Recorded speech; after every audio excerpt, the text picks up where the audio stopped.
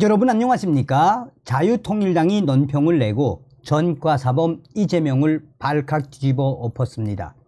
자유통일당은 이재명 씨 이제 제발 단식을 시작해 주십시오라는 논평에서 이재명이가 어떤 단식 과정을 거치고 있는지 한마디로 이재명이의 쇼, 쇼를 박살을 냈습니다.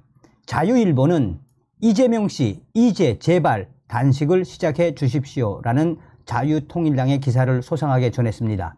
자유통일당 이재명 죄수복 입고도 춤추며 웃을 수 있을지 단식한다고 거짓말하고 보온병으로 마시고 수저로 떠먹고 유력 정치인들이 단식 중단해 달란 요청 국민들은 무슨 죄?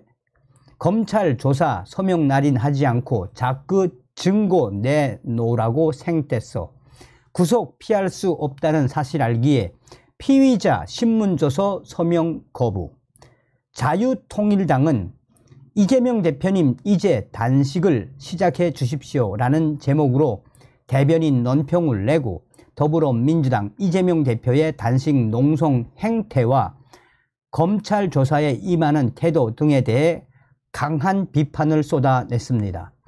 자유통일당은 논평에서 이재명 대표가 15일째 소식을 이어가고 있어 이제 얼굴이 약간 헬쓱해지기 시작했다라며 그래도 거동이나 업무에는 별 지장은 없어 보인다라며 그동안 단식한다고 거짓말하고 음식물을 보온병으로 마시고 수저로 떠먹고 등 뒤로 돌아앉아 손으로 입안에 급하게 털어놓는 등 참으로 희한한 방식으로 모고 왔다라고 지적했습니다.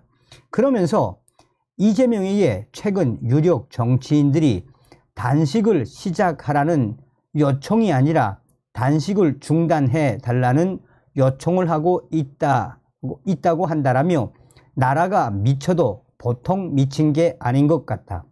대한민국 국민들은 무슨 죄가 있어서 이런 꼴을 보면서 하루하루 살아가야 한단 말인가라며 그래서 이재명에게 이렇게 말하겠다. 이재명 씨 이제 제발 단식을 시작해 주십시오 라고 전하고 있습니다.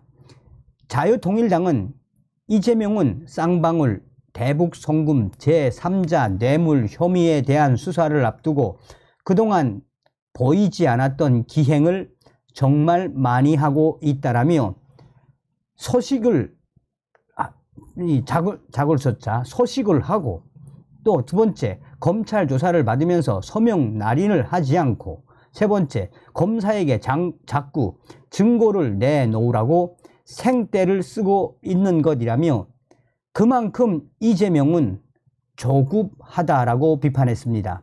이어 이재명의 이재명의 소식은 동정 여론을 얻기 위한 것으로 보인다라며 거의 모든 정치 재판은 여론 재판. 이재명은 그 사실을 알고 있는 것이라며 하지만 여론이 이재명에게 과연 유리하게, 유리하게 작용할지는 의문이다 라고 강조하고 있습니다.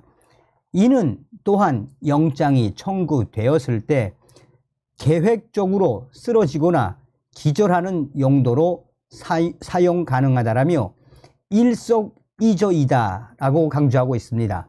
또한 검사는 절대 이재명의 소식 중에 구속영장을 청구해서는 안 된다라며 이재명의 작은 식사 소식이 끝난 후에 영장을 청구해야 한다라고 했습니다.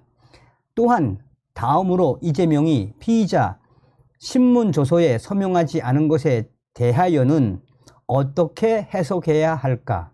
검찰의 신작 소설을 법원에서 적나라하게 보여줄 수 있으니 신문 조서야말로 이재명에게 유리한 자료가 아닌가라며 그러나 모두 짐작하겠지만 사실은 그 반대라며 이재명은 신문 조서에 적혀 있는 질문 내용만 보고서도 이제 모든 것은 끝났다 라고 생각한 것이다 라고 강조하고 있습니다.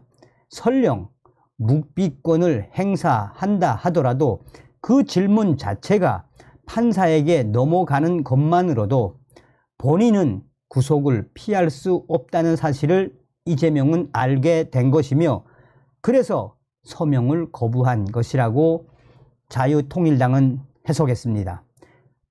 또한 마지막으로 증거 부분을 강조하며 이재명은 최근 검찰 조서를 받고 난 후 검찰이 증거를 하나도 내놓지 못했다라고 밝혔다며 도대체 변호사 생활을 어떻게 했는지 이해가 되지 않는다. 증거가 없다는 발언 자체가 증거다라고 강조했습니다. 검사가 이재명과 아무런 관련이 없는 소설을 써서 조사는 했다면 조사를 했다면 이재명은 서명을 거부할 이유도 없고 조사를 마친 후에도 검사가 뭔가 착각을 하고 있는 것 같다라고 잘못 알고 있다라며 등과 같은 말을 했을 텐데 증거가 없다고 보통 일상생활에서도 내가 했다는 증거가 있냐고 따져 묻는 사람이 거의 범인이라고 일갈했습니다.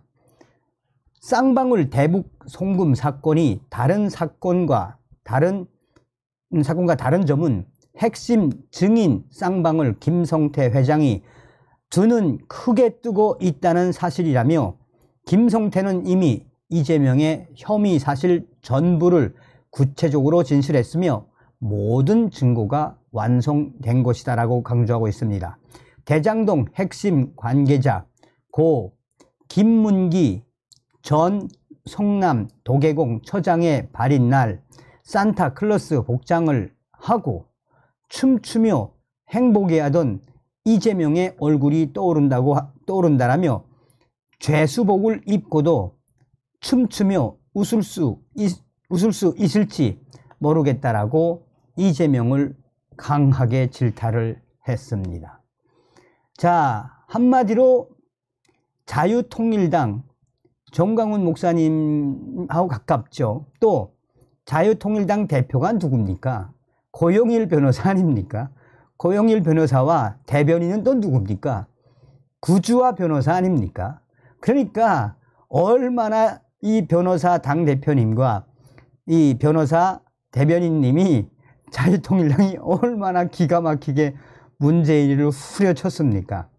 그러니 이 이재명의 이 생쇼의 본질은 우리 다 알고 있는 거 아니겠습니까? 다음 시간에 뵙겠습니다. 멸공.